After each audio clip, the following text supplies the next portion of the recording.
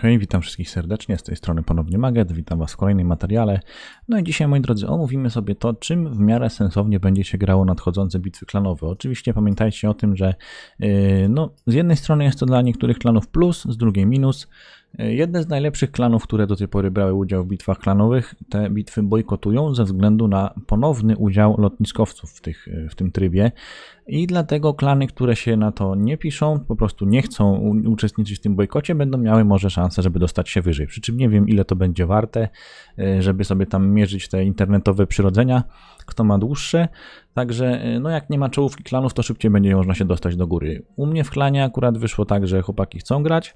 No ale pewnie znając naszą aktywność, to zagramy trzy razy i będzie po wszystkim. Także no trochę pobojkotujemy.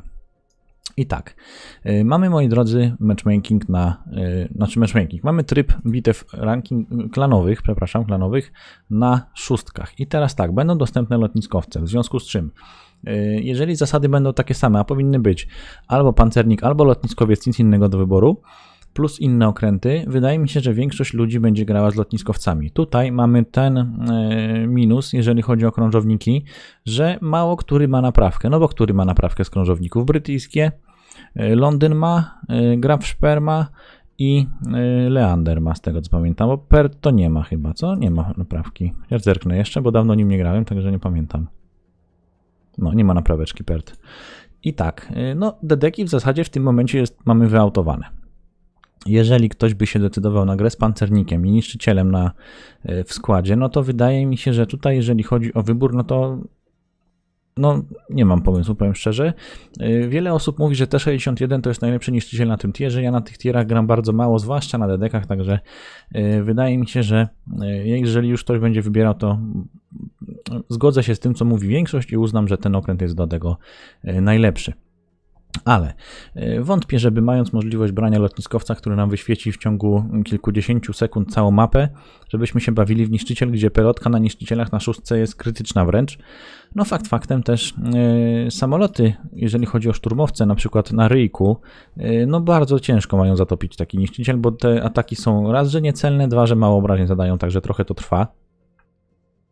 Jeżeli chodzi o lotniskowiec, to wydaje mi się, że właśnie Ryjek będzie tutaj dominował, bo mamy w miarę mocne torpedy, mamy bomby przeciwpancerne i zależy oczywiście od przeciwnika na to, na co nam przeciwnik pozwoli. Jeżeli wybierze okręty, które mają grubsze pokłady i te pepance będą wchodziły, no to jesteśmy w domu.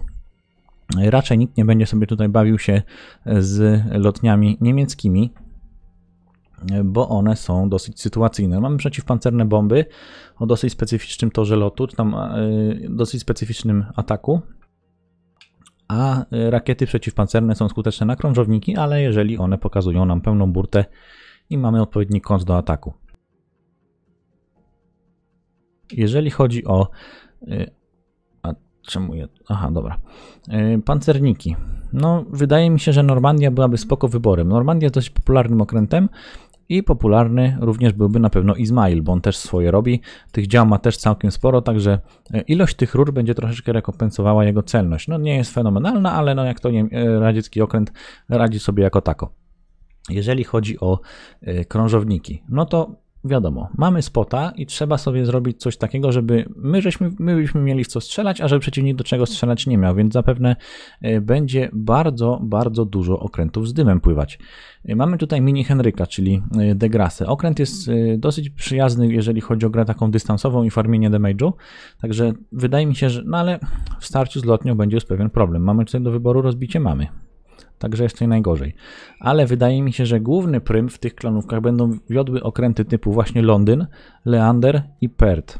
Będzie dużo dymu, będzie można się tym dymem wymieniać. Nie ma żadnych ograniczeń co do okrętów z dymem, nie ma radarów na szóstce, także jesteśmy totalnie bezpieczni w tym dymie, chyba że jakieś torpedy przypłyną. No ale kto mądry zdecyduje się na wzięcie niszczyciela, skoro mamy lotnie w powietrzu za każdym razem.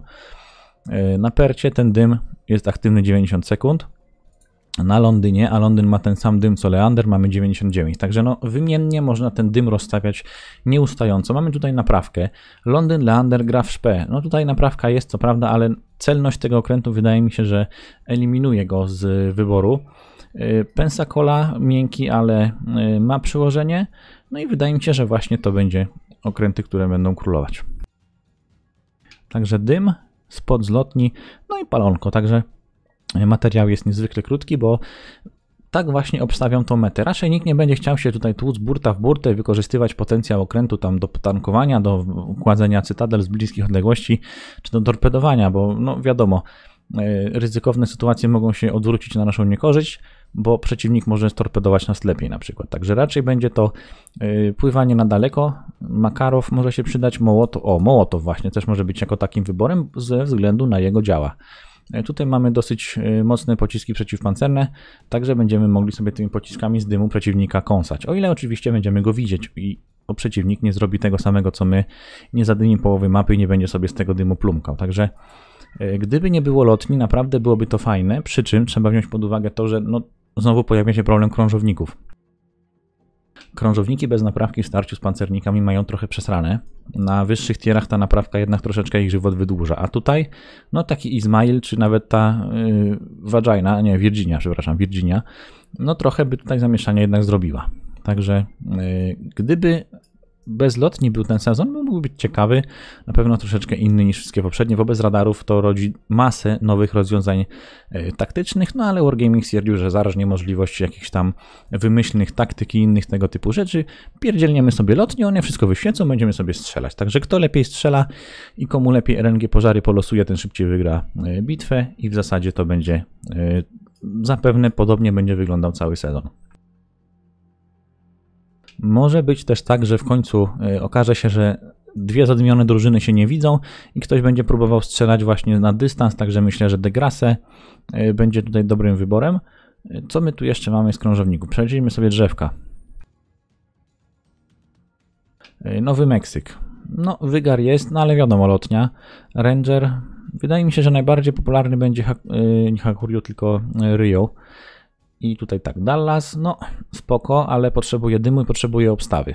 Może być dobry DPS, yy, dobra yy, ilość pożarów, jeżeli nie założymy IFHE. No z IFHE trochę będziemy tam mniej palić. Pensacola ma dobry wygar, ale jest miękka. Yy, Japonia, jeszcze tu przeoczyliśmy Japonię. Fuzo to legenda sama w sobie. A oba wydaje mi się, że ma troszeczkę za krótki zasięg. Dedeki, jeżeli by było bezlotni, no to Hatsuharu i Fubuki myślę, że byłyby jednym z częstszych wyborów. A tak, no niestety tej możliwości nie będzie. Izmail będzie grany, budionny. No, nie wiem, ja bym budionnego nie brał. Bayerny mo mogą, mogłyby być grane, no ale że mamy lotni, no to wiadomo. Yy, Nurberg, dosyć ok okręt, Do, dobry zasięg, także można będzie palić. No i tutaj na pewno yy, Leander będzie dobrym wyborem, Perth będzie dobrym wyborem i Londyn również będzie dobrym wyborem, no bo dym, naprawka i takie rzeczy. Oczywiście Perth naprawki nie ma, przypominam.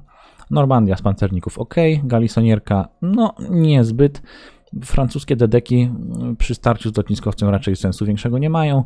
Y, Fuszun to jest porządny okręt, także no, wszystko musimy rozpatrywać pod tym kątem, a gdyby nie było lotni, bo lotnia wywraca cały system do góry nogami. Co innego Włochy jeszcze zerknijmy sobie. Mamy tutaj y, Trento i Duque d'Aoste. Duka jest fajna, y, Trento no niestety nie grałem, no ale mamy tam pociski, te przeciwpancerno-odłamkowe, także mamy możliwość zadawania damage'u niezależnie w zasadzie od kąta i tego, w co trafiamy. Oczywiście wiadomo, jak to działa, no ale dużo prościej zadać damage tych pocisków niż pepanców na przykład.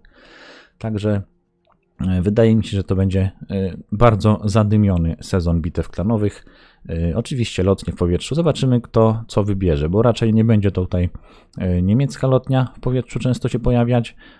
Aha, o to jest drzewkowa lotnia, przepraszam. Ryjek Ranger. Ark Royal też radzi sobie całkiem przyzwoicie. Jeden z moich ulubionych lotniskowców, także myślę, że e, jest w czym wybierać. No i w tym materiale to będzie, moi drodzy, wszystko. Także e, piszcie w komentarzach, co tam planujecie robić, czym grać i czym pływać. Jakie macie zdanie na temat udziału lotniskowców w kolejnym e, sezonie bitew klanowych, a z mojej strony w tym materiale to jest wszystko. Także do usłyszenia moi drodzy, cześć i na razie.